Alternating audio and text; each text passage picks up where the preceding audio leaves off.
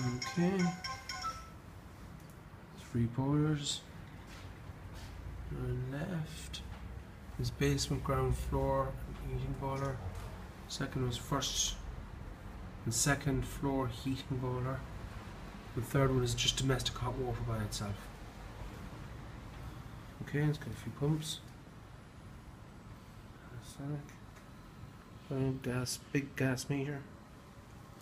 A big Megaflo as well. It's a 300 litre, isn't it? And then that's a. That must be a, a water softener. All quite well labelled, isn't it? Mm. Looks like a commercial space. Ground floor, lower ground floor, lighting and power. The head.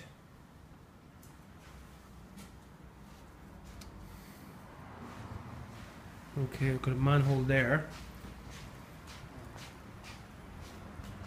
The manhole here.